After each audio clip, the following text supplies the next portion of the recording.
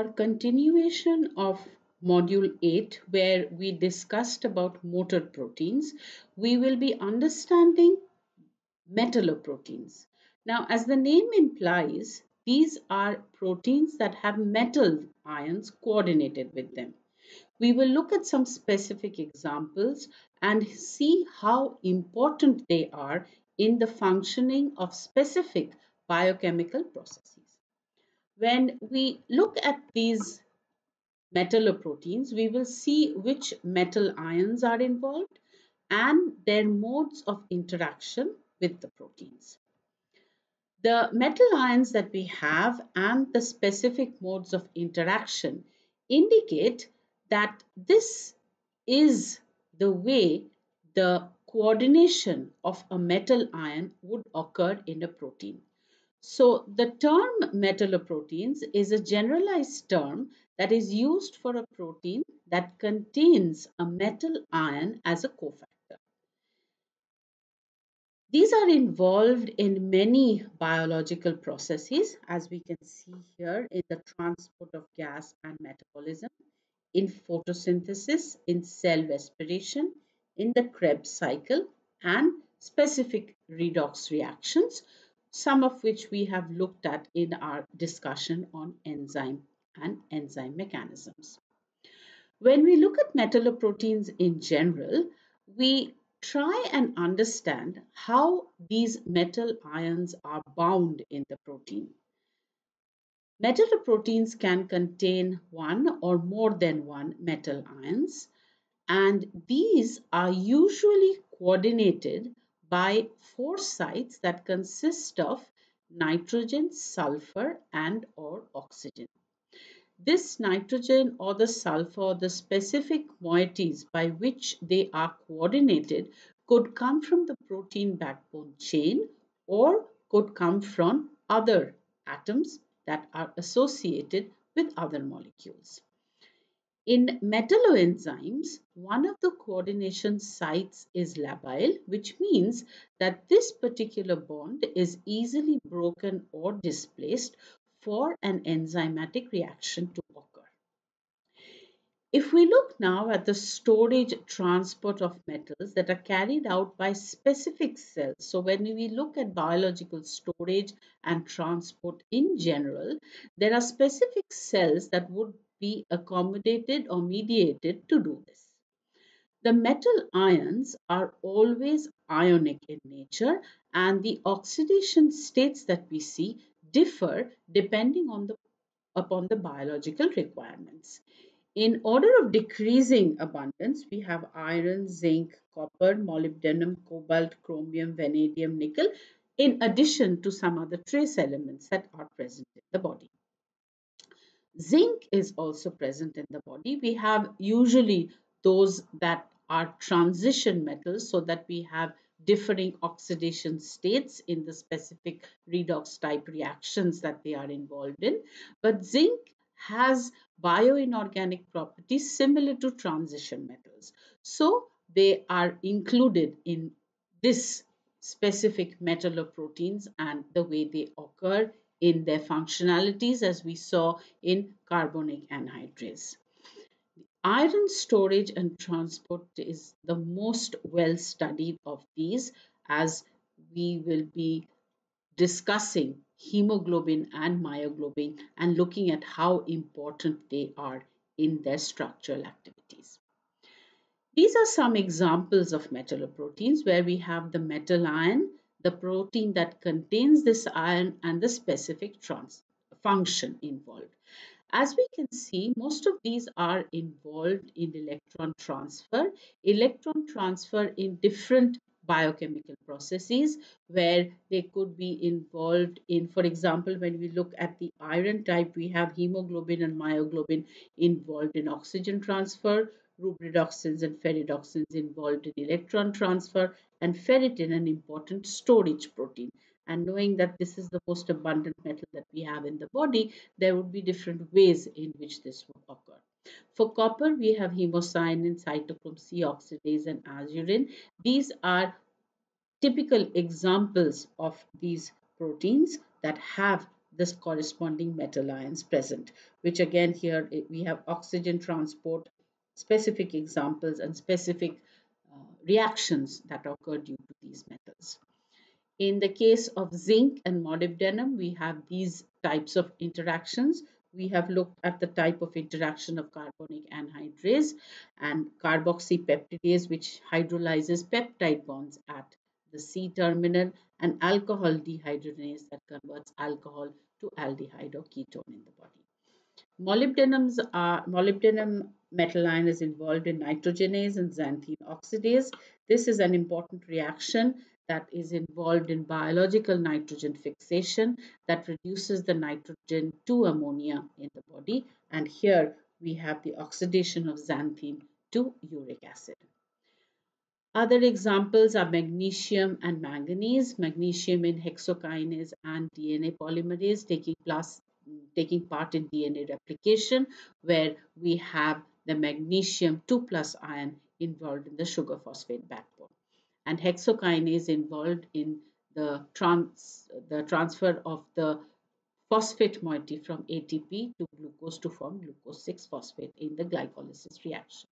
Manganese has arginase that converts arginine to urea in the urea cycle and an oxygen evolving complex that includes manganese. So when we look at these different types of metals, we will be looking at some specific examples just to look at their properties and see how they coordinate in the proteins and what overall reactions occur. For example, in hexokinase. In hexokinase, we have this as the protein molecule.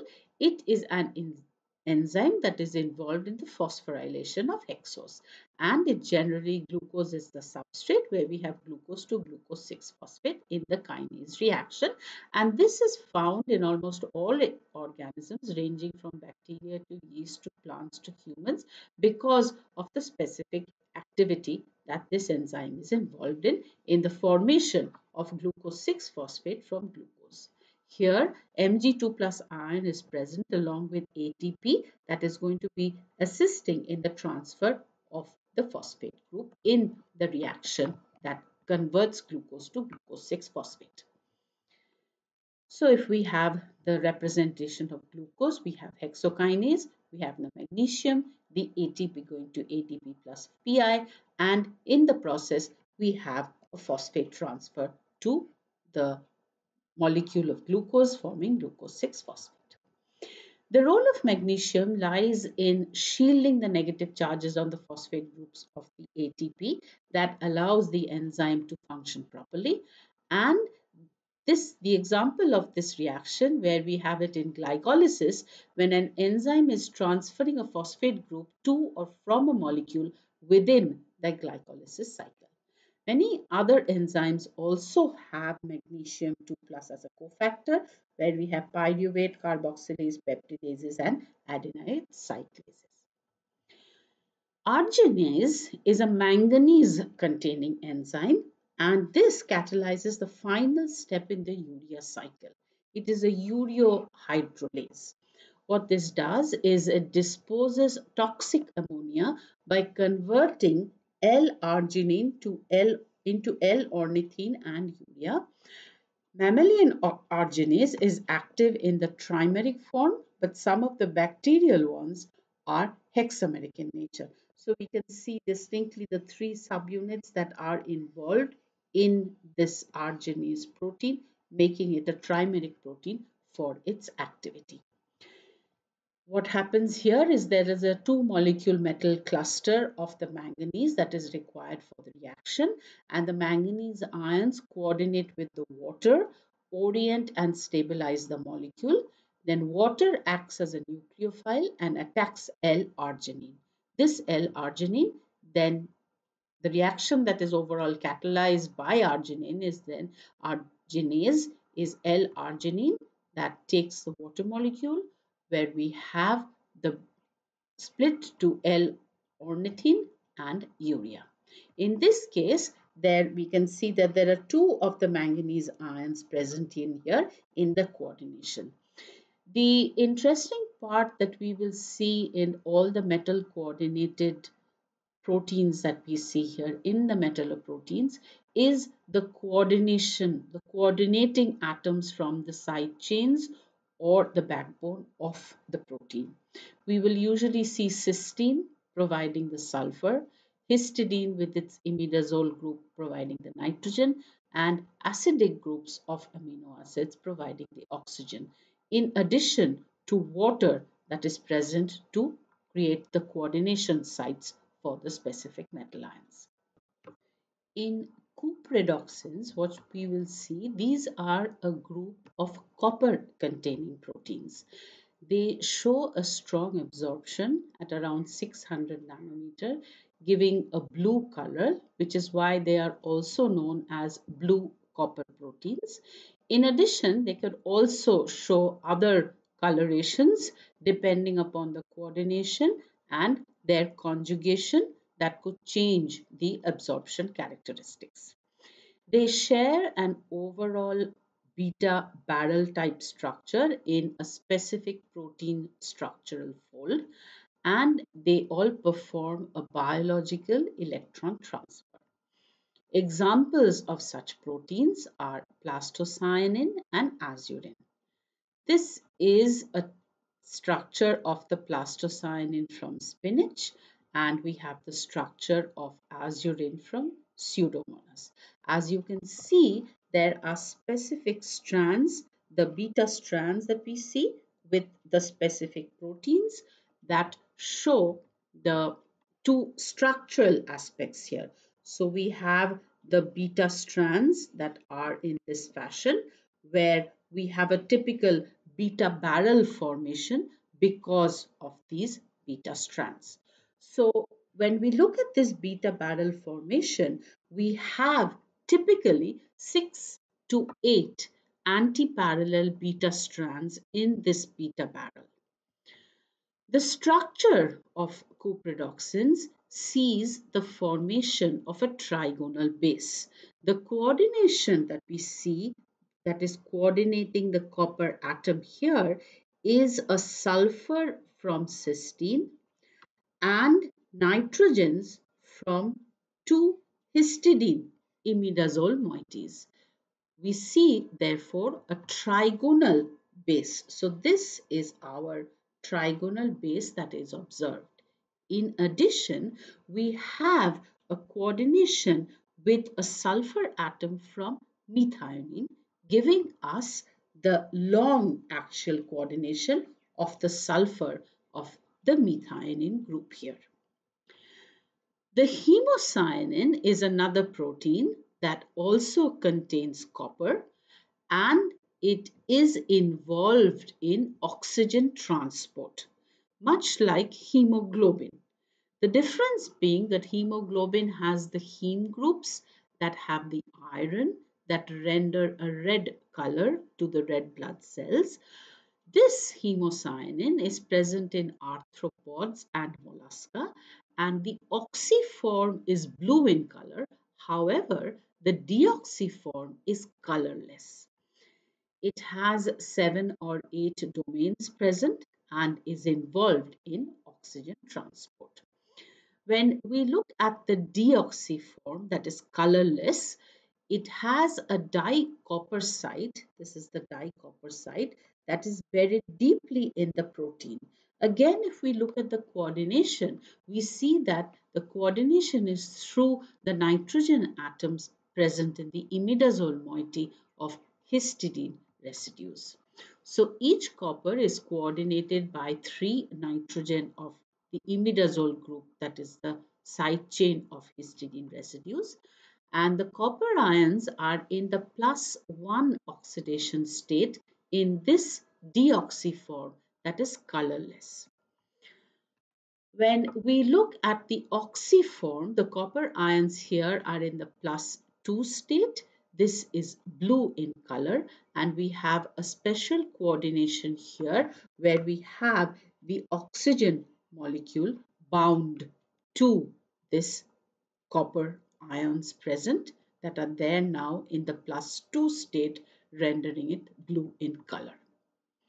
Azurin is another small blue copper protein found in Pseudomonas, Bordetella, Alcaligenes bacteria.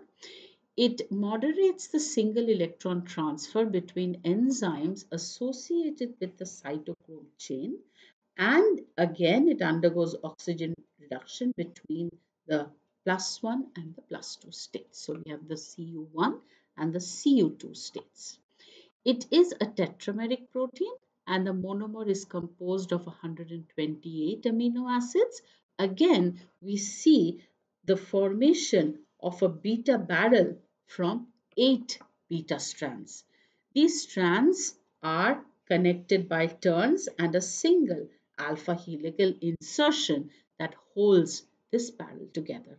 And each of these contains a single copper atom. So here we see the copper atom. The coordination that we see here is, so there are three equatorial ligands, thiolate, that is the sulfur from cysteine, cysteine 112, two imidazoles, that is the histidine 46 and histidine 117. Here is histidine 46 and histidine 117. This is the thiolate group from cysteine, the sulfur that we see.